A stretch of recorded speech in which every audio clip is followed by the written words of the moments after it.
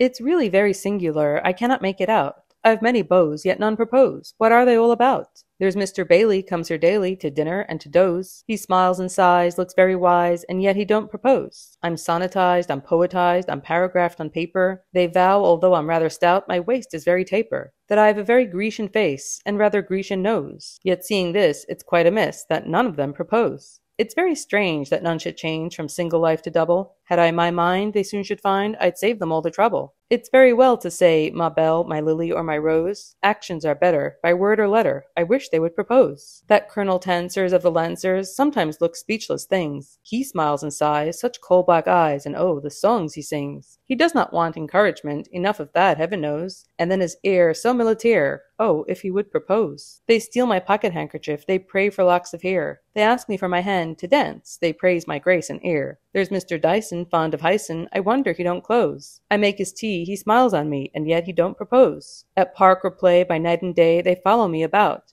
Riding or walking, singing or talking, at revel, masque, or rout. My father thinks it very bad that out of all the beaux who come to dine and drink his wine, none of them will propose. Yes, it is very singular, I've half a mind to pout. Of all the beaux, none will propose. What do they dream about? However, now my mind's resolved, in poetry or prose, whatever ensue or false or true, one of them shall propose.